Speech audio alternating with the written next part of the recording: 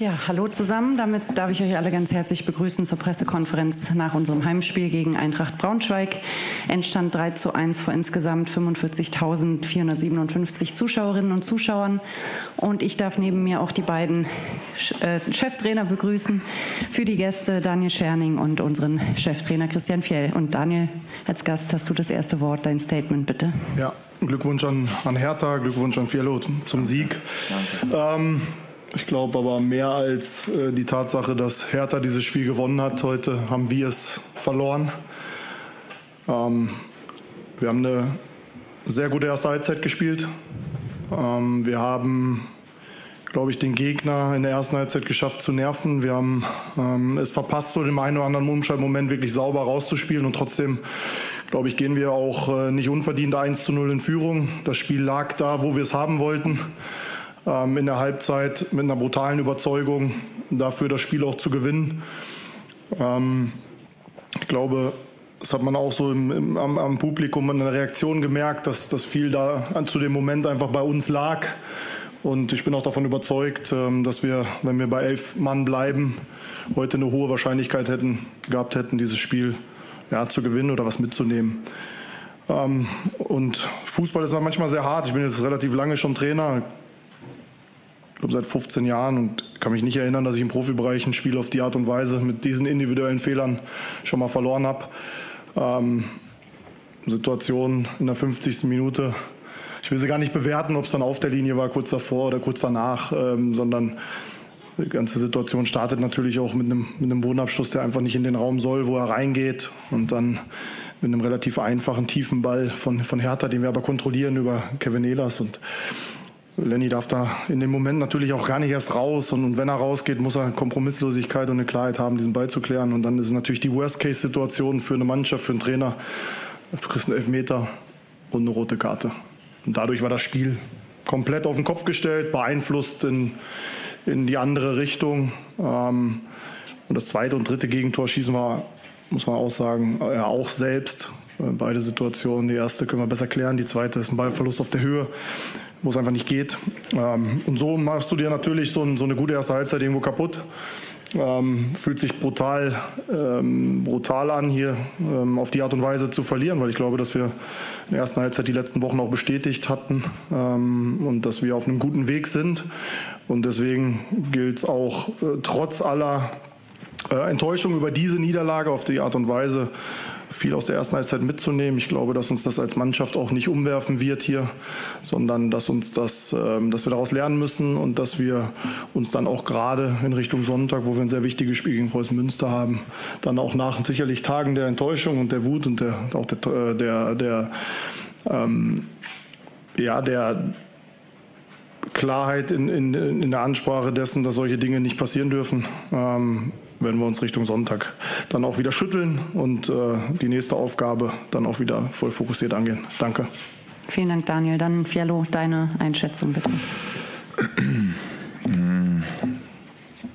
Also erstmal nehme ich diese drei Punkte, ähm, weil wir auch schon Spiele hatten, glaube ich, wo wir darüber gesprochen haben, wie das dann zustande gekommen ist. Und äh, da ging es mir so ähnlich wie dem Kollegen. Ähm, auf der anderen Seite bin ich nicht zufrieden, weil wir Dinge heute vor allen Dingen, bei zweiter Halbzeit kannst du dann kaum noch bewerten, in, in, in Unterzahl vom Gegner, aber ähm, weil wir Dinge nicht machen, die die wir die ganze Woche über im Training hatten, die wir in Bildern gezeigt haben, weil das System vom Gegner die einfach den ein oder anderen Raum gibt, den du, den du bespielen musst, wenn du ihnen Probleme machen willst, dass ähm, sie eine Mannschaft sind, die immer wieder Stress ausüben. Das wussten wir, aber wir haben heute vor allen Dingen in der ersten Halbzeit ähm, nicht das gemacht, was, was wir sollten. Und deshalb bin ich, bin ich ähm, sauer, weil ich es auch nicht ähm, ja, so richtig verstehe.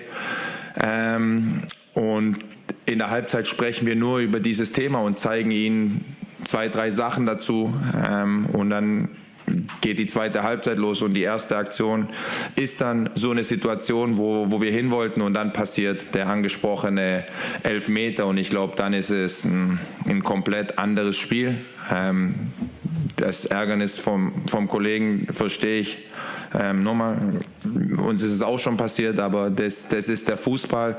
Ähm, Ihr wisst auch, wie oft wir dann darauf angesprochen wurden, heim und wir gewinnen zu Hause nicht. Deshalb, ähm, wie ich es gerade gesagt habe, wir nehmen diese drei Punkte und ähm, ja, trotzdem werden wir in der nächsten Woche über Dinge sprechen müssen, die ja, die grundsätzlich einfach auch wichtig sind für unser Spiel, weil wenn wir die nicht umsetzen, dann wird es schwierig, Spiele zu gewinnen. Danke. Danke, Fialo. Dann ist jetzt die Möglichkeit da für Fragen an die beiden Cheftrainer. Fangen wir an bei Inga Böderling für die Berliner Morgenpost. Zwei Elfmeter, zwei unterschiedliche Schützen. Ähm, Gibt es irgendwie eine Absprache, wer die Elfmeter schießt oder machen die Spieler das komplett unter sich aus? Ähm, das machen die Spieler unter sich aus. Da gibt es keine Vorgaben vom Trainer, wird es auch nie geben. Das soll der machen, der sich gut fühlt und der ihn dann auch reinschießt, hoffentlich. Und heute war es zweimal der Fall.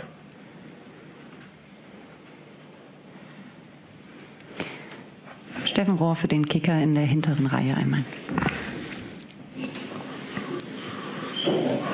Ähm, Florian Niederlechner kriegt in der Saison nicht so wahnsinnig viele Minuten, kam heute wieder von der Bank, war sofort drin, Elfmeter gezogen, Tor gemacht. Was gibt er der Mannschaft an solchen Abenden? An solchen Abenden den Elfmeter und ein Tor.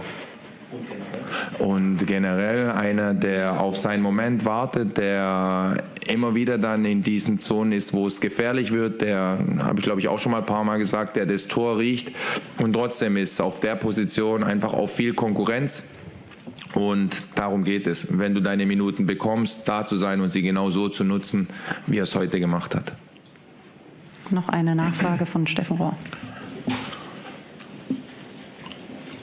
Im Dreieraufbau hinten war jetzt nicht das erste Mal in der Saison, aber du hast dich klar dafür entschieden, heute Miki Kabownik ins Mittelfeld vorzuziehen. Was war die äh, grundsätzliche Idee dahinter? Ähm, Im Zentrum Überzahl herzustellen. Weil es jetzt auch nicht so ist, dass ja, je weiter du von der letzten Linie weggehst, dass du das auch nicht so gerne machst, dann mit rauszugehen. Und da wollten wir vorbereiten, diese Dinge, die wir dann im letzten Drittel haben wollen. Aber das ist ein Thema, was wir heute nicht gut gemacht haben. Gehen wir einmal in die erste Reihe zu Thomas Flemer für die DPR. Ist, äh, danke. Ist das eigentlich das erste Mal, dass Ihre Spieler die Trainingsinhalte, die sie in der, unterhalb der Woche geübt haben, nicht umsetzen? Ähm, wissen Sie, als Fußballer sind ja auch Menschen. Und ähm, dann gelingt es dir mal besser und dann gelingt es dir mal weniger gut. Und heute haben wir diese Dinge, die für dieses Spiel wichtig waren, die für diesen Gegner wichtig waren, nicht gemacht. Und deshalb haben wir uns sehr schwer getan.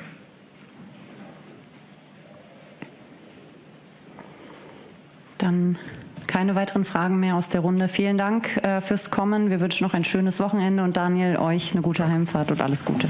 Daniel, alles Gute, Junge, habe ich vorhin vergessen. Sorry.